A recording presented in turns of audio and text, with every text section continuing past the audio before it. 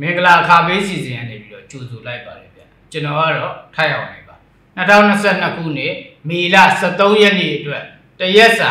မင်္ဂလာအခါပေးစီစဉ်ကိုကျွန်ုပ်ထိုက်အောင်လေးကတဲတော့ကတ်တီနဲ့နမိတ်ဖက်ပြီးတော့ဟောကြားပြီးတော့မှာပဲဖြစ်ပါတယ်ဗျ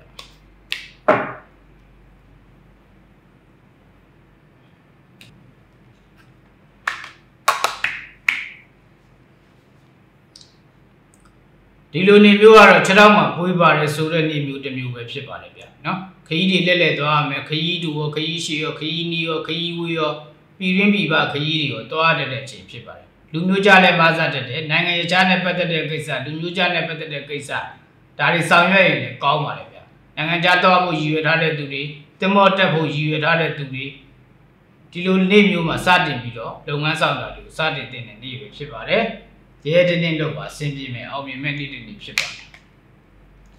ဒီလိုနေမျိုးမှာအိမ်ဆောက်ပစ္စည်းရောင်းဝယ်ရေးလုပ်ငန်းအကျိုးဆောင်လုပ်ငန်းအိုးလုပ်ငန်းအုပ်လုပ်ငန်းဒီလိုလုပ်ငန်းမျိုးတွေလည်းအလွန်အင်တန်မှကောင်းသောနေ့တစ်နေ့ဖြစ်ပါတယ်ဒီလိုလုပ်ငန်းမျိုးတွေစတင်မယ်ဒီလိုလုပ်ငန်းမျိုးတွေစိုင်ဖွင့်မယ်ဆိုရင်လည်းအကျိုးပေးတဲ့နေ့တစ်နေ့ဖြစ်ပါတယ်နေကောင်းနေ့မြတ်တစ်ခုဖြစ်ပါတယ်ဒီလိုနေမျိုးမှာကလေးမိဖွားတာတို့နော်ကိုဝင်အပ်တာတို့ OG နဲ့ပြဖို့ရချဲယူတာတို့ဒါတွေလည်းကောင်းတဲ့နေ့တစ်နေ့ပဲဖြစ်ပါတယ်ဗျ စံစီစားစေစက်ပစ္စည်းနဲ့ပတ်သက်တဲ့ကိစ္စစတိုးဆိုင်နဲ့ပတ်သက်တဲ့ကိစ္စတွေလည်းလွန်အင်တန်မှကောင်းတယ်ဒီလိုလုပ်ငန်းမျိုးတွေလည်းစတက်စတင်တဲ့နေ့လည်းဖြစ်ပါတယ်ဗျ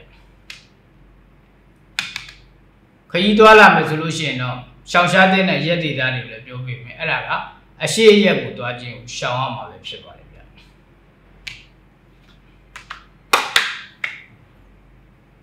ဒီလိုနေမျိုးမှာသူရင်ကိုယ်ရင်ပြောရဆိုရတဲ့ကိစ္စရှင်းရလင်းရတဲ့ကိစ္စနော်အရေးကြီးတဲ့လုပ်ငန်းဆောင်တာတွေစတင်မယ်ဆိုလို့ရှိရင်တော့အပြာရောင်ဝတ်စားပါတဲ့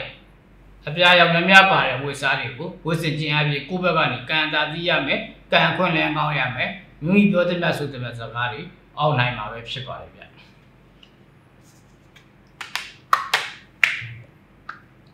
ဒီလိုနေမျိုးမှာထီထိုးကန်ဆန်းကျင်တဲ့သူတွေအတွက်ကတော့အပူးပါတဲ့ကဏ္ဍတွေကိုထိုးပါဗျနော် ဒီလိုနေမျိုးမှာအပူးကဏ္ဍလေးတွေက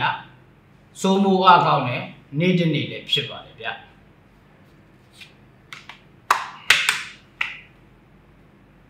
ဒီလိုနေမျိုးမှာမွေးဖွားတဲ့သားသမီးတွေကတော့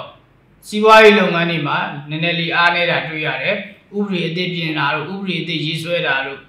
အများနဲ့သက်ဆိုင်တဲ့လုပ်ငန်းတွေမှာသူတို့ကစိတ်ဝင်စားတဲ့ကလေးတွေသားသမီးတွေဖြစ်ပါတယ်နော်သူတို့ကတော့ဘဝမှာ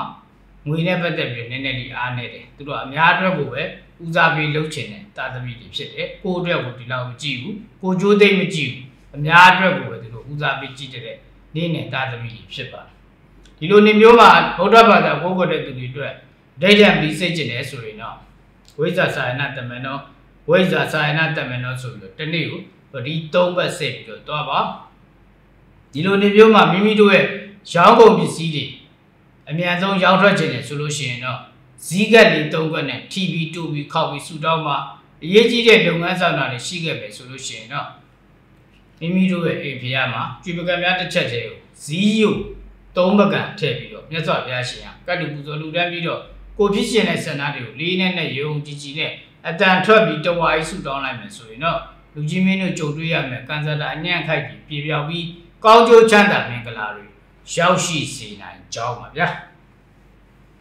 လူကြီးမင်းတို့ရဲ့လုပ်ငန်းဆောင်တာများသည်လည်းယနေ့ယခုချင်းကနေစပြီးတော့အောင်မြင်တည်တဲ့အောင်မြင်ခြင်းတိုးတက်တည်တဲ့တိုးတက်ခြင်းဒီမဟုတ်ချမဲ့တွေဖြစ်ပါစေတည်းတော်လန်းသာလို့လာလန်းဖြောက်ပါစေတည်းဘေးပေရာဝေးကွာပါစေတည်းမိုးဆက်ပတ်မှမှလမ်းဖြာနိုင်ပါစေတည်းအောင်စေပိုင်းစေနိုင်စေခိုင်းစေရဲ့လို့ကျွန်ုပ်ထိုက်အောင်နဲ့ရလူကြီးမင်းတို့ဟာဒီနေရာကနေစူတောင်းမြစ်တာများလှိုက်လိုက်လေလေပို့တာလိုက်ရကြောင်း ပါခင်ဗျာ